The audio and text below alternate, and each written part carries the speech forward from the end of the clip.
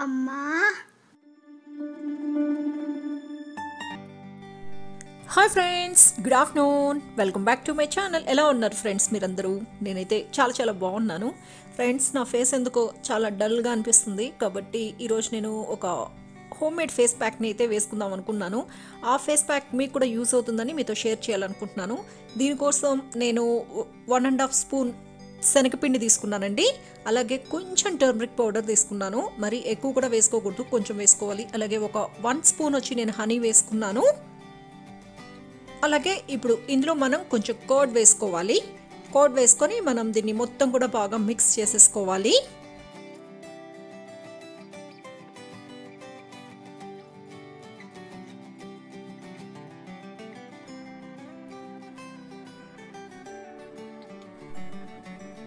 రకంగా మనం మొత్తం కూడా బాగా మిక్స్ చేసుకోవాలి.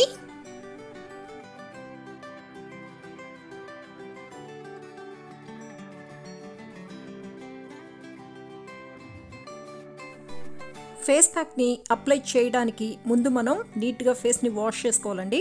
మొత్తం ఫేస్ అంతా డ్రై అయిపోయిన తర్వాత మనం బ్రష్తో కానీ లేకపోతే ఫింగర్స్తో కానీ ఏది కంఫర్టబుల్గా ఉంటే దాంతో మనం ఫేస్ మొత్తం కూడా ఈ ప్యాక్ని అప్లై చేసుకోవాలి. ఇందులో మనం అన్నీ కూడా న్యాచురల్ ఇంగ్రీడియంట్సే యూస్ చేసామండి శనగపిండి యూస్ చేసాం కదా. దీనివల్ల మన స్కిన్ పైన ఉండే ట్యాన్ అనేది రిమూవ్ అవుతుంది. అంతేకాకుండా మన స్కిన్ని టైటనింగ్ చేస్తుంది. కోడ్ అలాగే హనీ వల్ల మన స్కిన్ అనేది బ్రైటనింగ్కి యూజ్ అవుతుంది. ఇందులో మనం టర్మరిక్ పౌడర్ కూడా యూస్ చేసాం కదండి. ఇది యాంటీ ఏజింగ్గా యూజ్ అవుతుంది. అంటే మనకి ఏదన్నా పింపుల్స్ ఇట్లాంటి ఏదన్నా ఉన్నా కూడా లేకపోతే పింపుల్స్ వల్ల వచ్చిన మచ్చలు ఇట్లాంటివి ఏదన్నా ఉంటే అవన్నీ కూడా రిమూవ్ చేయడానికి ఈ ఇంగ్రీడియంట్స్ అన్నీ కూడా చాలా బాగా యూజ్ అవుతాయి. ఇది వీక్లీ వన్స్ మనం ఫేస్కి ప్యాక్ లాగా అప్లై చేసుకోవచ్చు. లేకపోతే టెన్ డేస్కి ఒకసారైనా మనం అప్లై చేసుకోవచ్చు అండి దీనివల్ల మన స్కిన్ అనేది బ్రైట్గా ఉంటుంది. అంటే మన స్కిన్ ఇది బ్రైటనింగ్ చేస్తుంది ఈ ఫేస్ ప్యాక్ అనేది. ఈ రకంగా నేను ఫేస్ మొత్తం కూడా అప్లై చేసేసుకుంటున్నాను.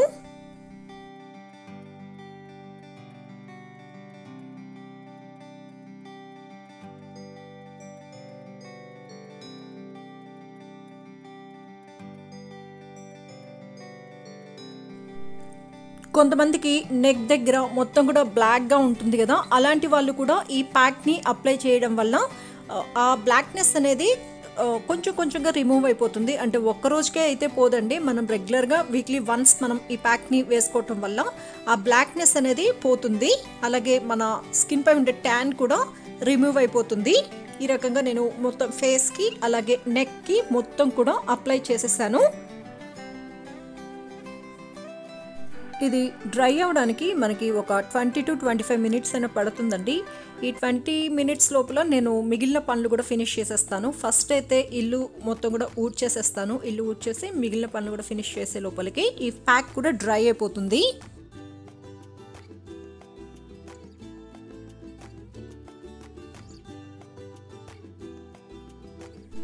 ఈవినింగ్ పూజకు ముందు ఇల్లు ఊడ్చేసేస్తానండి. అంటే మాకు పూజ రూమ్ వచ్చి హాల్లో ఉంటుంది కాబట్టి హాల్ అలాగే కిచెన్ ఈ రెండు కూడా నేను మొత్తం ఊడ్చేసేసుకుంటాను. నార్మల్గా ఇల్లు మొత్తం కూడా మార్నింగ్ నిద్రలేగానే ఫస్ట్ ఇల్లు అంతా ఊడ్చేసేస్తాను. తర్వాత మా పూజ అంతా అయిపోయిన తర్వాత మళ్ళీ మా మెయిడ్ వస్తారు. ఎయిట్ తర్వాత వచ్చి తను ఇల్లు క్లీన్ చేసేసుకుంటారు. ఇంకా మళ్ళీ ఈవినింగ్ నేను పూజకు ముందు ఒకసారి ఈ రకంగా హాల్ అలాగే కిచెన్ని క్లీన్ చేసేసుకుంటాను. డీమార్ట్లో టూ బెడ్షీట్స్ తీసుకొచ్చాను కదా ఆ బెడ్షీట్స్ని ఈరోజు వేశానండి. చాలా బాగున్నాయి. నన్ను మన వ్యూవర్స్లో కొంతమంది అడిగారు సైజ్ అంటే ఆ బెడ్షీట్ సైజ్ ఎంత ఉంటుందని?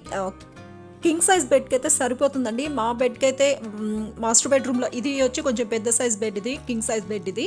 దీనికైతే కరెక్ట్గా సరిపోయింది. ఇంకొక రూమ్లో ఉండే బెడ్షీట్ ఇంకొక రూమ్లో ఉండే బెడ్కి అయితే అది చా కొంచెం చిన్న సైజ్ అది.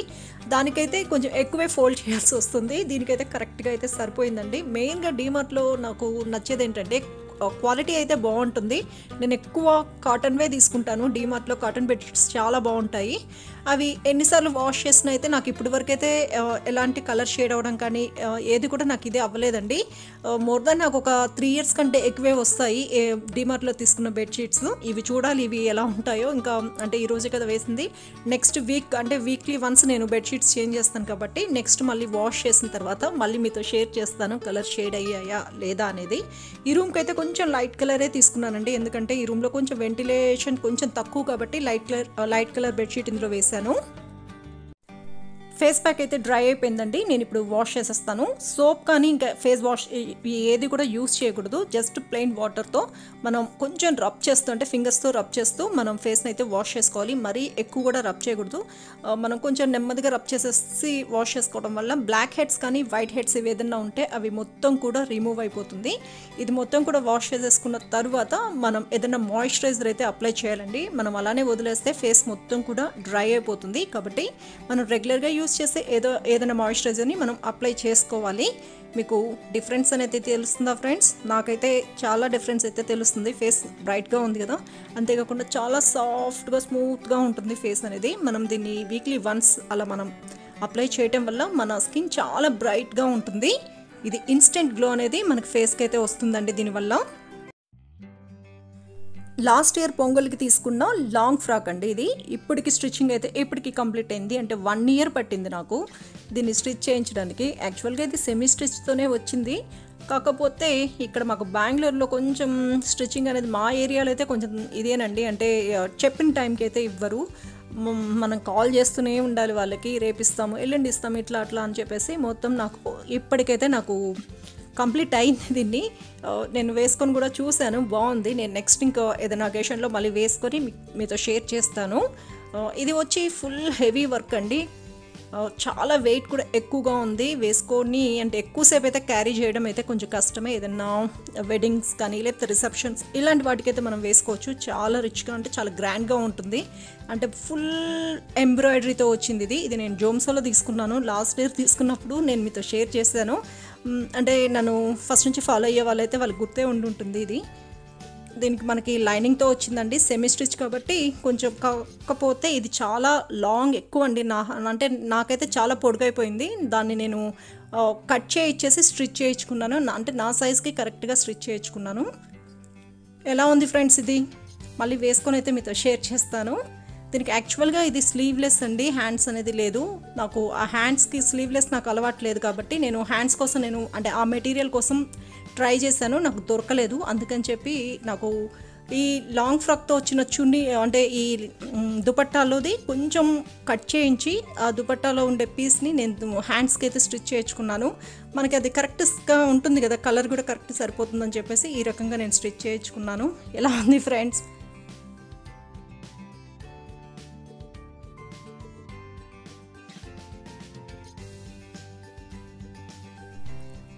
నెక్ వచ్చి నేను ఫ్రంట్ అండ్ బ్యాక్ కూడా సేమే నేను స్టిచ్ చేయించుకున్నానండి. రౌండ్ నెక్ మనకి డిజైన్ అలానే వచ్చింది కాబట్టి ఇంకా మనం చేంజ్ చేయడానికి కూడా లేదు. కాబట్టి అలానే స్టిచ్ చేయించేసుకున్నాను. ఇప్పుడు టైం వచ్చి ఫైవ్ ఫార్టీ ఫైవ్ అయిందండి. నేను ఈరోజు యాపిల్ కోల్డ్ కాఫీ చేస్తున్నాను. ఇది వెయిట్ లాస్కి యూస్ అవుతుంది. అంతేకాకుండా మనం రెగ్యులర్గా తాగే కాఫీకి కొంచెం బోర్ అనిపిస్తుంది కదా అలాంటి టైంలో మనం ఈ రకంగా హెల్తీగా మనం కాఫీ అయితే ప్రిపేర్ చేసుకోవచ్చు. దీనికోసం ఫస్ట్ మనం కొంచెం చియా సీడ్స్ని వాటర్లో మిక్స్ చేసేసుకొని సోక్ చేసి పెట్టుకోవాలి. అంటే ఒక టెన్ మినిట్స్ అయితే సరిపోతుంది. దీన్ని మనం పక్కకు పెట్టేసుకోవాలి. ఇప్పుడు నేను బ్లెండర్లో మిల్క్ వేసుకుంటున్నాను. ఇది ఇది కాచి చల్లార్చిన మిల్క్ అండి. ఇప్పుడు ఇందులో కట్ చేసుకున్న యాపిల్ వేసుకున్నాను. అలాగే కొంచెం సినిమన్ పౌడర్ వేసుకున్నాను. దాల్చిన చెక్క పొడి అండి. అలాగే ఇప్పుడు ఇందులో కొంచెం కాఫీ పౌడర్ వేసుకున్నాను. ఇందులో నేను కొంచెం హనీ కూడా వేసుకున్నానండి. ఆ క్లిప్పింగ్ అయితే మిస్ అయిపోయింది. ఇప్పుడు మనం దీన్ని బ్లెండ్ చేసేసుకోవాలి. మీకు ఇది మరీ స్వీట్గా అనిపించదు. మీకు అలా కొంచెం స్వీట్గా కావాలనిపిస్తే మీరు హనీకి బదులు కొంచెం షుగర్ కూడా మీరు యాడ్ చేసుకోవచ్చు. ఇప్పుడు దీన్ని మొత్తం కూడా మనం ఒకసారి మొత్తం కూడా బ్లెండ్ చేసేసుకోవాలి. చాలా డిఫరెంట్గా ఉంటుందండి. అంటే హనీ కంటే షుగర్ వేసుకుంటే బాగుంటుంది కాకపోతే హెల్త్ పరంగా చూసాము అంటే హనీనే మంచిది కాబట్టి నేను హనీ వేసుకున్నాను. దీంట్లో ఐస్ క్యూబ్స్ కూడా మనం వేసుకోవచ్చు. ఈరోజు అయితే నేను ఐస్ క్యూబ్స్ వేయలేదు. ఎందుకంటే పాలు చాలా చల్లగా ఉన్నాయి ఫ్రిడ్జ్లో నుంచి తీసి అప్పుడే నేను బ్లెండ్ చేసేసుకున్నాను కాబట్టి. పైన నేను కొంచెం కాఫీ పౌడర్ని స్ప్రింకిల్ చేసేసుకున్నాను. ఎంతో టేస్టీగా ఉండే యాపిల్ కోల్డ్ కాఫీ అయితే రెడీ అయిపోయిందండి. మనం రెగ్యులర్గా తాగే కాఫీ లాగా అస్సలకి ఉండదు. చాలా డిఫరెంట్గా ఉంటుంది. మీరు కూడా తప్పకుండా ట్రై చేయండి. మీకు చాలా నచ్చుతుంది. నాకు తెలిసిన ఇంకా కొన్ని కోల్డ్ కాఫీ రెసిపీస్ కూడా మీతో షేర్ చేస్తాను. ఇదేనండి. ఈరోజు ఈవినింగ్ కాఫీ టీకి బదులు నేను యాపిల్ కోల్డ్ కాఫీ అయితే నేను చేశాను. చాలా బాగుంది.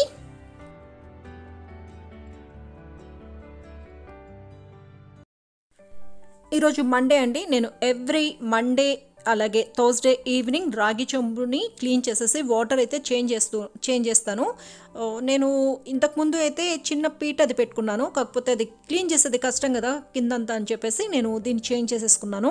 యాక్చువల్గా వచ్చి ఇది మనం అమ్మవారిని అంటే చిన్న చిన్న దేవుని విగ్రహాలు అభిషేకం చేసుకోవడానికి యూస్ చేసుకోవచ్చు. లేకపోతే దీపాలు పెట్టుకోవడానికి కూడా మనం యూస్ చేసుకోవచ్చు. నేనైతే రాగి చెంబు పెట్టడం కోసం దీన్ని తీసుకొచ్చాను. అలాగే రాగి చెంబును కూడా నేను చేంజ్ చేశానండి. కొత్త రాగి చెంబుని తీసుకొచ్చాను. ఫస్ట్ ఈ రెండింటిని నీట్గా క్లీన్ చేసేస్తాను. క్లీన్ చేసేసి ఈ దీనికైతే కొంచెం గంధం బొట్టు పెట్టేసి ఆ తర్వాత కుంకుమ బొట్లు పెట్టేసేస్తాను. చూడండి ఈ రకంగా నేను క్లీన్ చేసేసి గంధంతో బొట్టు పెట్టి ఆ తర్వాత కుంకుమ బొట్లు పెట్టేసుకున్నాను. దీనిపైన మనం ముగ్గు వేసుకోవాలి.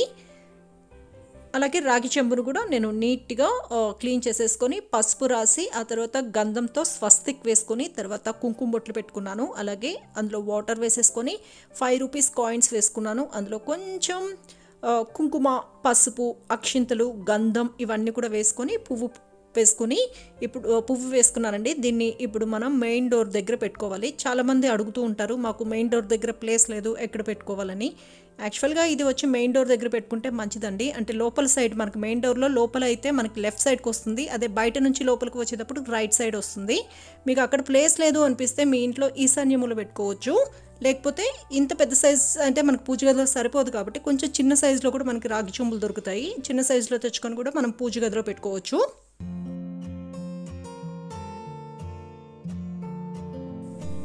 ఇది మొత్తం కూడా అంతా ఫినిష్ అయ్యే లోపలికి సిక్స్ ట్వంటీ అయిందండి. ఇంకా నేను పూజ చేసుకుంటాను. ఈరోజు కొంచెం లేట్ అయింది. నార్మల్గా అయితే నేను సిక్స్ ఓ క్లాక్కి నా పూజ అయితే స్టార్ట్ చేస్తాను. ఈరోజు రాగి చెమ్మ అంతా క్లీన్ చేసేసి అంతా పెట్టే లోపలికి కొంచెం లేట్ అయిపోయింది.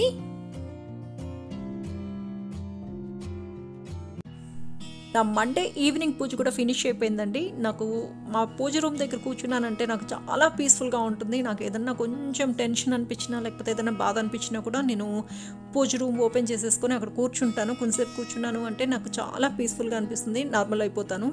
ఇప్పుడు అమ్మవారి పాదాలు పెట్టిన తర్వాత ఇంకా పీస్ఫుల్గా ఉంది. అసలు ఎంత ప్రశాంతంగా ఉందో అమ్మవారి పాదాలు చూస్తూ ఉంటే నాకు చాలా పీస్ఫుల్గా ఉంది.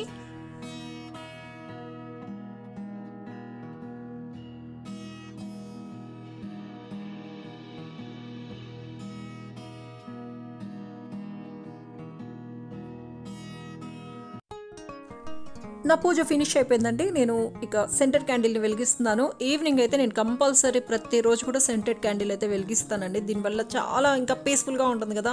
మనం పూజ చేసుకుంటేనే మనకి చాలా ప్రశాంతంగా అనిపిస్తుంది. పూజ అయిపోయిన తర్వాత వచ్చి ఇలా సెంటెడ్ క్యాండిల్ వెలిగించుకొని కొంచెంసేపు అలా కూర్చున్నామంటే ఇంకా చాలా పీస్ఫుల్గా ఉంటుంది. చాలా రిలాక్స్ అయిపోతాం కదా. అంటే మార్నింగ్ నుంచి ఏదో ఒకటి పని చేసుకుంటూనే ఉంటాం కదండి. కొంచెం ఇదే అయిపోయి ఉంటాం టైర్డ్ అయిపోయి ఉంటాం కదా. ఇలా మన సెంటెడ్ క్యాండిల్ వెలిగించుకొని కొంచెంసేపు రిలాక్స్ అయిపోయాం అనుకోండి హ్యాపీగా ఉంటుంది కదా మనకు కూడా.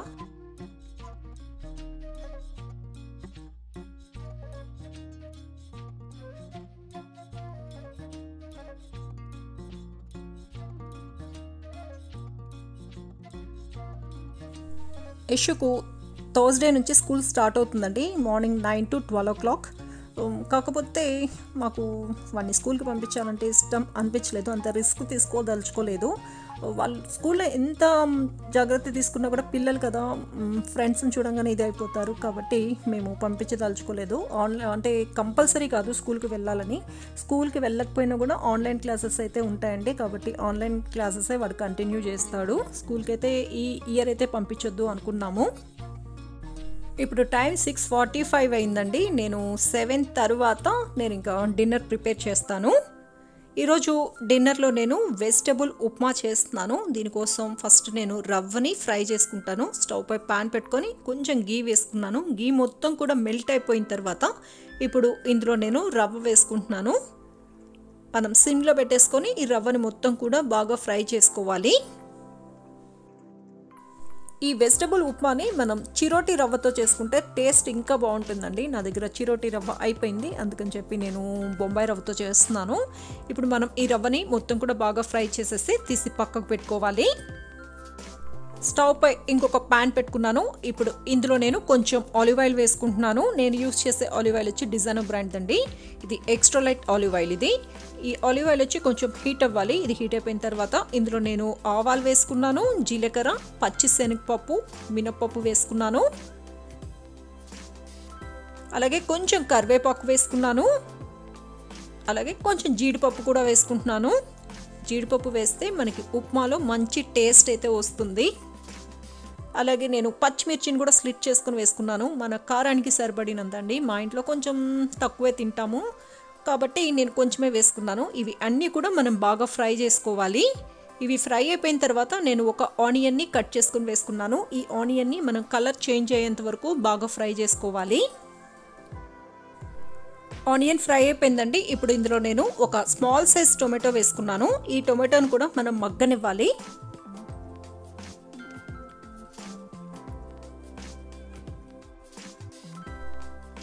టొమాటో మగ్గిపోయిందండి. ఇప్పుడు ఇందులో మనం కట్ చేసుకున్న వెజిటబుల్స్ వేసుకోవాలి. నేను క్యారెట్ బీన్స్ బఠానీ అలాగే క్యాలీఫ్లవర్ వేసుకున్నాను. ఇంకా మనం పొటాటో కూడా వేసుకోవచ్చు. పొటాటో ఇంకా బీట్రూట్ ఇవి కూడా వేసుకోవచ్చు. మనం ఒక టూ మినిట్స్ మనం ఇలా ఫ్రై చేసుకోవాలి. అంటే వెజిటబుల్స్ కొంచెం ఫ్రై అవ్వాలి.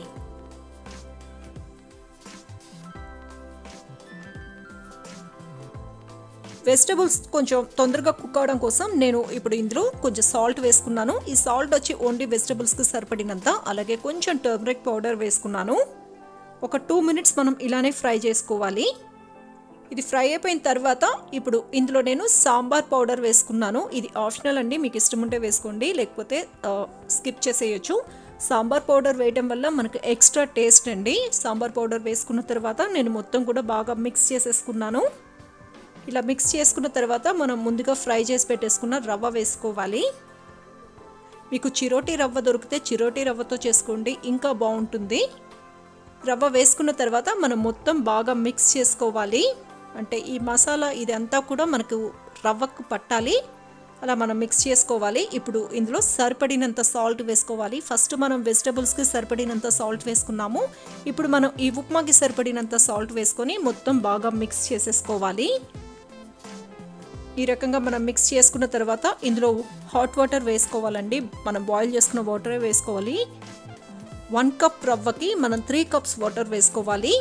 వాటర్ వేసుకున్న తర్వాత మొత్తం బాగా మిక్స్ చేసేసుకోవాలి. ఈ రకంగా మొత్తం మిక్స్ చేసుకున్న తర్వాత మనం సిమ్లో పెట్టుకొని మనం మూత పెట్టేసి మనం కుక్ చేసుకోవాలి. ఒక ఫైవ్ టు సెవెన్ మినిట్స్ మనకి టైం పడుతుంది. మనకి ఇది మొత్తం కూడా బాగా కుక్ అవ్వడం కోసం. ఫైవ్ మినిట్స్ అయిందండి. నేను మూత తీసేసి చూస్తాను. చూడండి మనకి రవ్వ మొత్తం కూడా బాగా కుక్ అయిపోయింది. ఒకసారి మొత్తం కూడా బాగా మిక్స్ చేసుకుందాము. ఇప్పుడు ఇందులో నేను కొంచెం లెమన్ జ్యూస్ వేస్తున్నాను. లెమన్ జ్యూస్ వేయటం వల్ల మనకి మంచి టేస్ట్ అయితే వస్తుందండి. స్టవ్ ఆఫ్ చేసేసాను. స్టవ్ ఆఫ్ చేసేసి ఇంకా మొత్తం కూడా మనం బాగా మిక్స్ చేసేసుకోవాలి.